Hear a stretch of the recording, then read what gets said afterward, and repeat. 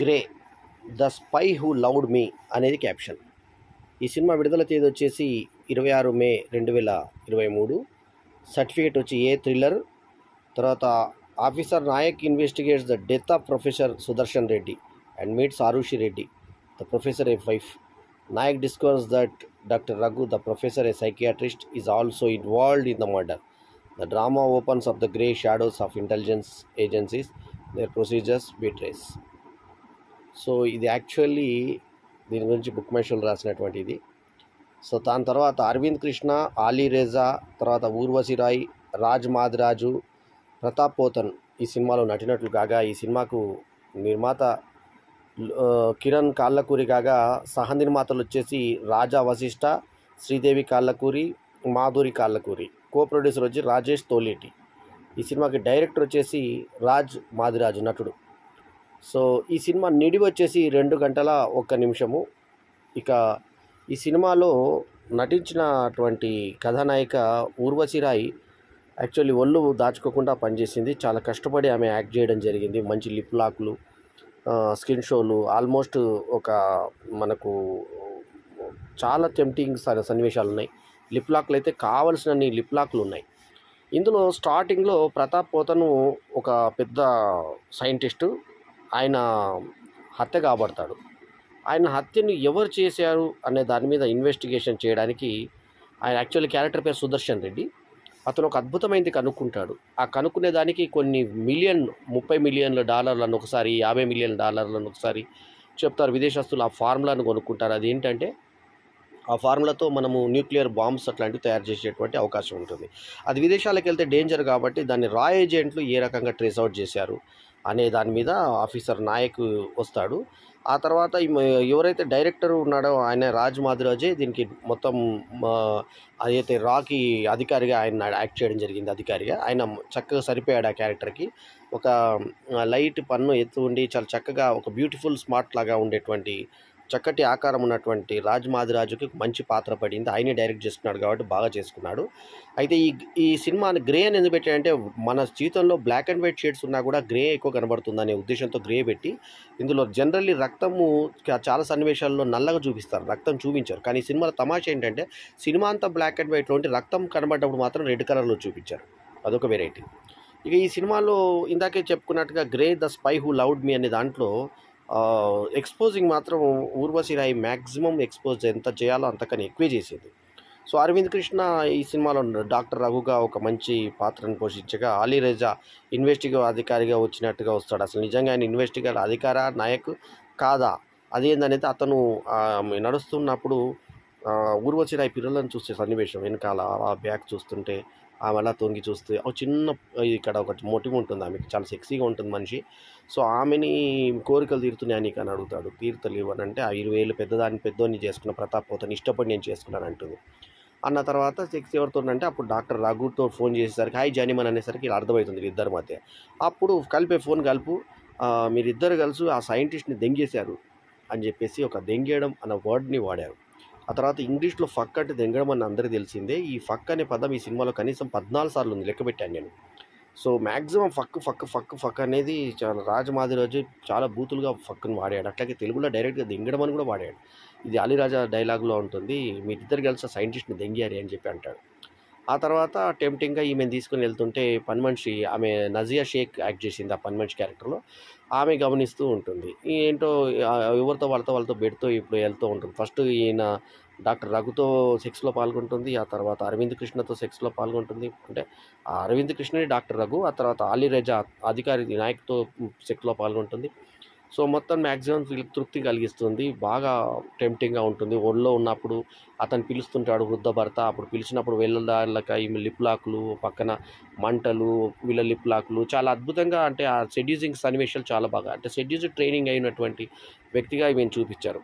తర్వాత ఏమో భర్త ఎట్లా అవి అభిప్రాయం చూస్తూ డబ్బు కోసం వచ్చిందా? లేకుంటే ఆమె ఇంకేమైనా పని చేయడానికి వచ్చిందా? అనేది సస్పెన్స్ లాకర్లో ఈ యొక్క ఫార్ములా దాగి ఉంటుంది. ప్రతాప్ పోతన్ చనిపోయి ఉంటాడు కాబట్టి అతను ఎంత బాగా యాక్ట్ చేశాడు. నిజంగా చనిపోయాడు ప్రతాప్ పోతన్ ఇప్పుడు దివంగత నటుడు. కానీ ఈ సినిమా చూసిన తర్వాత ఒకప్పటి రాధిక భర్త ఆయన ఆయన ఎంత అద్భుతంగా యాక్ట్ చేస్తాడు అనేది ఈ సినిమాలో మరొకసారి మనకి తేట తెలమైంది. ఆయన బాడీ లాంగ్వేజ్ కానీ ఆయన యాక్టింగ్ కానీ అరవింద్ కృష్ణ కన్నా కూడా అద్భుతంగా ముందు మనకి ఫస్ట్ మార్కులు పడతాయి మనకి ప్రతాప్ పోతన్కి.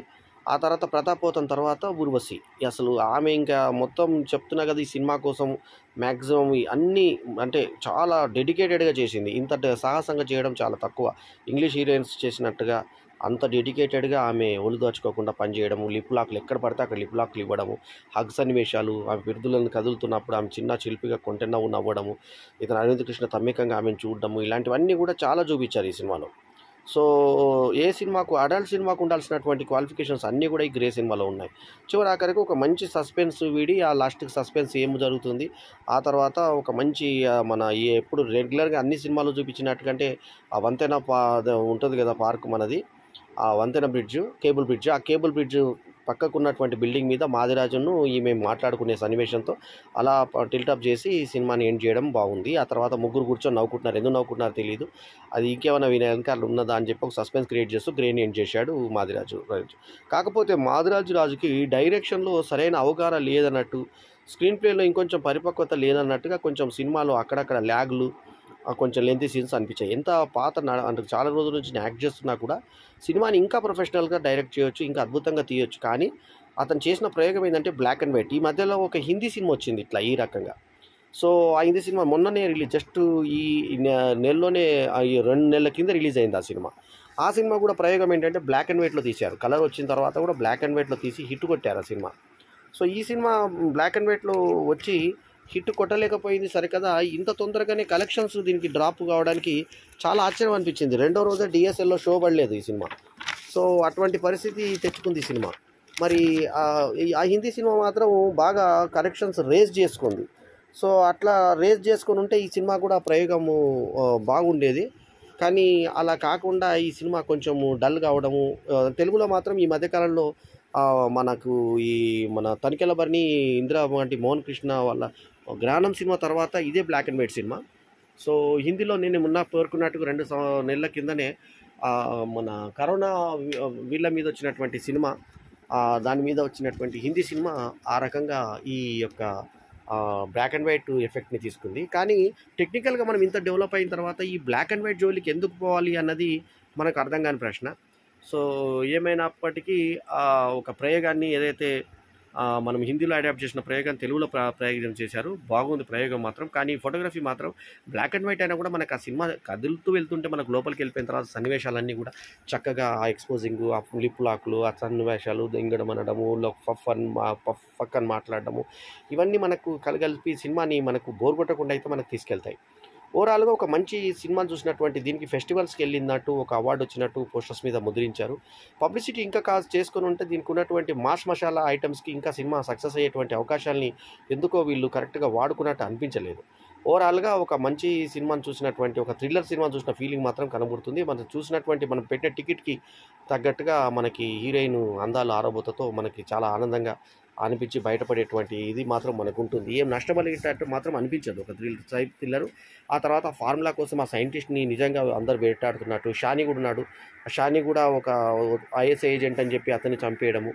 ఆ తర్వాత ఇతను ఊకే భ్రమపడుతున్నాడు ఒక పెద్ద పెద్ద అవార్డ్స్ తనకు ఒక అవార్డు వచ్చిన ప్రకటిస్తే కూడా వద్దని చెప్తే ఆయన నాకు వ్యక్తి- ఆయన వ్యక్తిత్వం నచ్చిందని ఊర్వశి రాయడం మొత్తం ఆమెకి సెక్సీ ఫిగర్ ఊర్వశి రాయ్ ఫిగర్కే ఫస్ట్ పడిపోతారు సినిమాలో. సో ఆమె పని మనిషిగా చేసినటువంటి నజియా షేక్ కూడా బాగుంది. ఆ క్యారెక్టర్ సరిపోయింది. సో ఆమె ఫైట్ చేసినట్టు చేసి ఎవరు మీరు అందరూ అని అనడము ప్రతాపోత నటన ఇవన్నీ కూడా కలగలిసి ఈ సినిమాని రాజ్ మాదిరాజు నటన బాగున్నాయి ఇవన్నీ. ఈ సినిమాలో ఓవరాల్గా ఒక మంచి సినిమా చూసినటువంటి ఫీలింగే మనకు కలిగజేస్తుంది. Great two point seven five by five is my rating ఈ వీడియో కనుక మీకు నచ్చితే లైక్ చేయండి కమెంట్ చేయండి షేర్ చేయండి మా ఛానల్కు తప్పకుండా సబ్స్క్రైబ్ చేయండి. ఊర్వశి రాయ్ అందాలు చూడాలంటే మాత్రం గ్రే సినిమాని మిస్ కాకండి. ఓకే? ఈ వీడియో కనుక మీకు నచ్చితే లైక్ చేస్తారు సబ్స్క్రైబ్ చేస్తారు కాబట్టి మీ అందరికీ కూడా మరోసారి కృతజ్ఞతలు చెప్తూ దట్స్ ఆట్ ఈ వీడియో ఇక్కడికి ఎండ్ చేస్తూ ఎల్లప్పుడూ మీ ఆదరాభిమానులు ఆశించే మీ all allrounder star Balyam Venumadhav. నమస్తే. జై హింద్.